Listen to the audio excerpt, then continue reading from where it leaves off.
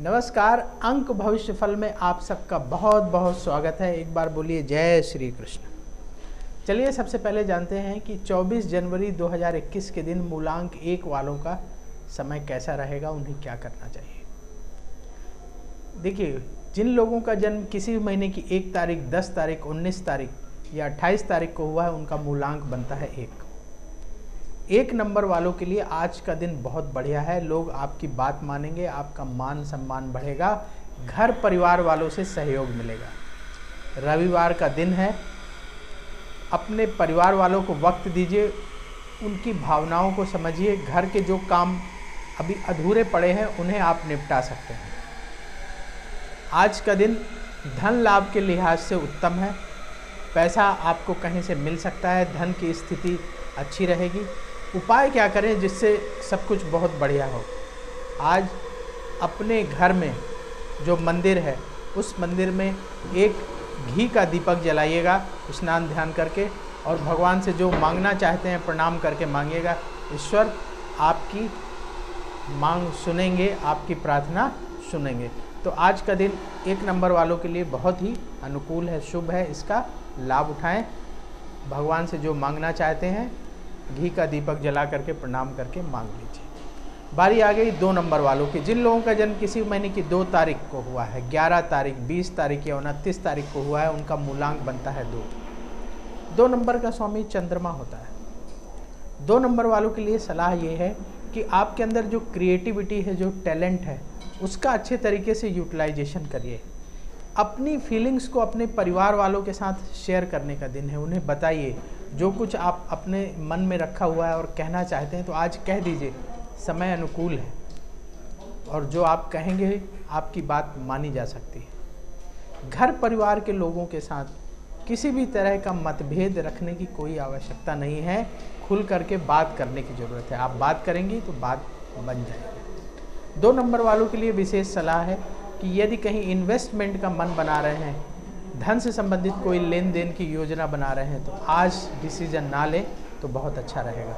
उपाय क्या करें कि आज एक माला ओम नमः शिवाय का जाप कर लीजिए, स्नान ध्यान करके, सब कुछ शुभ होगा पॉजिटिविटी बढ़ेगी। बारी आ गई दो नंबर वालों, तीन नंबर वालों की। जिन लोगों का जन्म किसी महीने की तीन तारीख, बारह तारीख, इक्कीस तारीख या तीस तारीख को हुआ है, उनका मूलांक बनता है तीन। तीन नंबर वालों के लिए आज का दिन धन लाभ कराने वाला है। दिन भर कुछ ना कुछ काम में बिज़ी रहेंगे। आलस्य छोड़ करके अपने काम पूरे करने का प्रयास करिएगा तो बहुत अच्छा रहेगा। और हाँ घर परिवार वालों की बात को इग्नोर करना ठीक नहीं होगा। उपाय क्या करें? आज अपने घर के बड़े बुज़ुर्गों को प्रणाम करके उनका आशीर्वाद लीजिए, जिससे कि आपकी लाइफ में पॉजिटिविटी और बारी आ गई चार नंबर वालों की, जिन लोगों का जन्म किसी भी महीने की चार तारीख, तेरह तारीख, बाईस तारीख या इकतीस तारीख को हुआ है, उनका मूलांक बनता है चार। चार नंबर वालों के लिए आज धन लाभ के योग बन रहे हैं, पैसा आपको कहीं से मिल सकता है। यदि कोई नई योजना शुरू करना चाहते हैं, कुछ नया प्लान बनाना चाहते हैं तो उसके लिए और एक्टिव होने की ज़रूरत है। बस ध्यान ये रखना है कि आपका प्लान काल्पनिक ना हो, यथार्थ की धरातल से जुड़ा हुआ हो तो बहुत अच्छा रहेगा। उपाय क्या करें चार नंबर वाले? आज अपने घर के मंदिर में सुगंधित धूप जला करके अपने इष्ट देव को प्रणाम करिए। आपके लिए बहुत शुभ रहेगा। बारी आ गई पाँच नंबर वालों की। जिन लोगों का जन्म किसी महीने की पाँच तारीख, चौदह तारीख, तेईस तारीख को हुआ है, उनका मूलांक बनता है पाँच।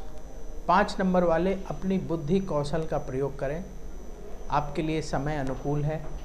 बस ध्यान रखना है कि अपनी वाणी पर आज विशेष रूप से नियंत्रण रखना है। किसी से भी बात करें तो सोच समझ करके बोलेंगे तो बहुत बढ़िया रहेगा। उपाय क्या करें जिससे सब कुछ अच्छा हो? आज भगवान गणेश को प्रणाम करिए और गणेश जी की आरती स्नान ध्यान करके कर लीजिए। बारी आ गई छः नंबर वालों की। जिन लोगों का जन्म किसी महीने की छः तारीख, पंद्रह तारीख या चौबीस तारीख को हुआ है, उनका मूलांक बनता है छः छः नंबर वालों के लिए आज सितारे ये संकेत दे रहे हैं कि अपनी भावनाओं को कंट्रोल में रखिए। जल्दबाजी में कोई भी काम ना करें, किसी से यदि कुछ कहना चाहते हैं तो तोल मोल करके बोलें, सोच समझ करके बोलेंगे तो बहुत बढ़िया रहेगा। छः नंबर वाले, अपने मान सम्मान का ख्याल रखें। यदि कहीं यात्रा पर जाना चाहते हैं तो आज का दिन उसके लिए अनुकूल है। उपाय क्या करें? छः नंबर वाले आज स्नान ध्यान करके दुर्गा चालीसा का पाठ करें, अपने घर के मंदिर में बैठ के तो अच्छा रहेगा। बारी आ गई सात नंबर वालों की। जिन लोगों का जन्म किसी महीने की सात तारीख, सोलह तारीख या पच्चीस तारीख को हुआ है, उनका मूलांक बनता है सात। सात नंबर वालों के लिए आज का दिन अपनी जो स्किल है नॉलेज है, उसको और ज़्यादा बढ़ाने का है। यानी कुछ यदि नया सीखना चाहते हैं तो कुछ नया सीखने का प्रयास करिए। आप गूगल के थ्रू नई चीज़ें सर्च कर लीजिए अपने फ़ील्ड से, या कुछ और तरीके से कोई नई किताब पढ़ना चाहते हैं, पढ़ लीजिए। यानी ये समय अपने नॉलेज को और ज़्यादा बढ़ाने का है। सात नंबर वालों को आज परिवार से सहयोग मिलेगा। जो कार्य आपके बहुत दिनों से अटके पड़े थे, उन्हें पूरा करने का प्रयास करिए, वो काम आपके बन सकते हैं। उपाय क्या करें? आज सात नंबर वाले अपने घर के मंदिर में माँ गायत्री का ध्यान करें और गायत्री मंत्र का एक माला जाप करें। बारी आ गई आठ नंबर वालों की। जिन लोगों का जन्म किसी महीने की आठ तारीख, सत्रह तारीख या छब्बीस तारीख को हुआ है, उनका मूलांक बनता है आठ। आठ नंबर वाले अपनी जो भी कार्य, आज एक्टिविटी है, उसमें किसी भी तरह का विलम्ब ना करें। और हाँ दूसरों पर बहुत ज़्यादा डिपेंड मत रहिएगा। यदि दूसरों के भरोसे काम छोड़ेंगे तो हो सकता है वो काम डिले हो जाए या हो ही ना। आठ नंबर वालों के लिए सलाह ये है कि अपने घर परिवार वालों की सलाह लेकर के काम करेंगे तो आपके लिए अच्छा रहेगा। किसी भी चीज़ में जिद दिखाना ठीक नहीं है। उपाय क्या करें? आज हनुमान चालीसा पढ़ के काम शुरू करिए। बारी आ गई। नौ नंबर वालों की, जिन लोगों का जन्म किसी भी महीने की नौ तारीख अट्ठारह तारीख या सत्ताईस तारीख को हुआ है, उनका मूलांक बनता है नौ। नौ नंबर वालों के लिए आज का दिन अनुकूल है। आपके कार्य व्यवहार की तारीफ़ होगी, लोग आपके स्वभाव की तारीफ़ करेंगे, कार्य की तारीफ़ करेंगे। समय आपके लिए अनुकूल है। यदि किसी से मुलाकात करना चाहते हैं, कोई अनऑफिशियल मीटिंग रखना चाहते हैं तो उसके लिए भी समय अनुकूल है। आप बात कर सकते उपाय क्या करें कि आज यदि किसी काम से घर से निकलें तो लाल फल का दान किसी गरीब को करें, फिर जाएँ तो आपके लिए बहुत शुभ रहेगा। तो दर्शकों, आज के अंक फल में इतना ही। कल फिर होगी आपसे मुलाकात। मुझे दीजिए अनुमति। बोलिए जय श्री कृष्ण।